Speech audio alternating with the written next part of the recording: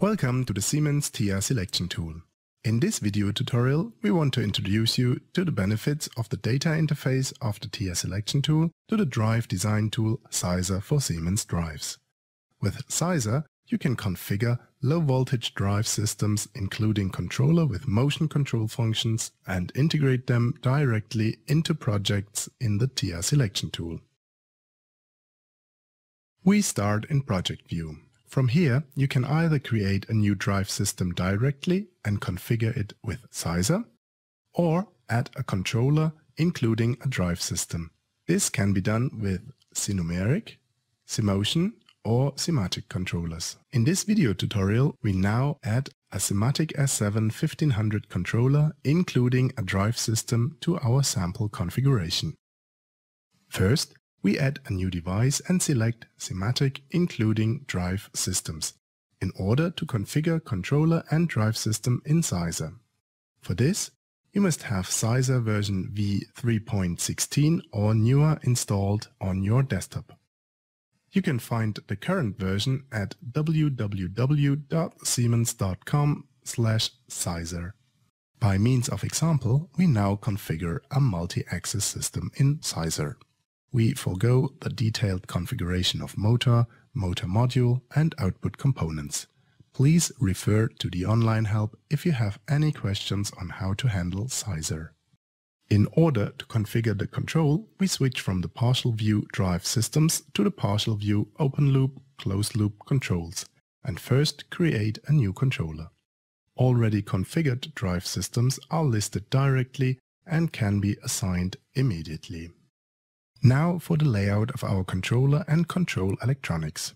Specifying type and extent of your motion control task defines the necessary hardware. Both the current utilization of the CPU as well as resource requirements for the desired technologies are visualized clearly in a graphic. The number of speed-controlled, positioning or synchronous axes influence the performance class of the necessary CPU. In general, all Simatic S7 1500 CPUs already have motion control functions such as speed-controlled axis, positioning axis, relative synchronous operation functionality, that is, synchronization without specifying synchronous position, as well as external encoder, output cams and measuring inputs. If extended motion control functions are needed, technology CPUs are required. This is necessary, for instance, for absolute synchronous operation functionality, that is, the synchronization with a specification of the synchronous position, or CAM disk synchronization. The right CPU for the planned technology is easy to find. All control variants which meet your motion control requirements are now listed. Depending on further demands, for example in terms of servo and interpolator cycle clocks, as well as fail safety, the list updates the available variants. You can sort or filter the results by columns. You can also ask for the display of control variants which are ruled out. You can find out what prevents their usage by pressing the Info button. Once you have found your suitable CPU, confirm by clicking OK. The overriding layout dialog once again visualizes the chosen variant and you can accept the selection by clicking OK. Then you complete your configuration using these buttons. After successfully completing the configuration, you can close Sizer. Your modifications are saved in the project file of the TI selection tool.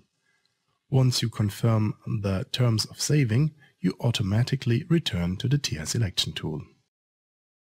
We now have expanded our project by the control variant we just configured. The controller is displayed in the project tree without the subordinated drives. Only drives which are not assigned to a controller in Sizer are displayed separately.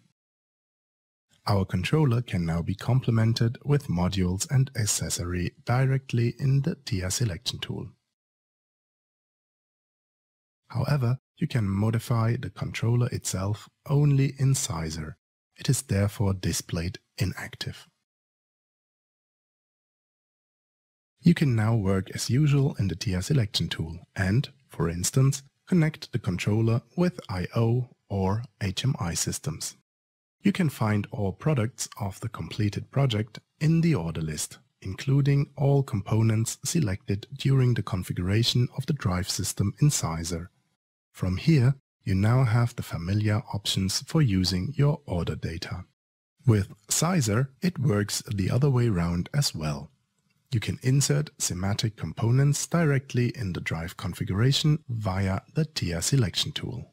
To do so, change to the partial view additional components and select SIMATIC components from TIA selection tool.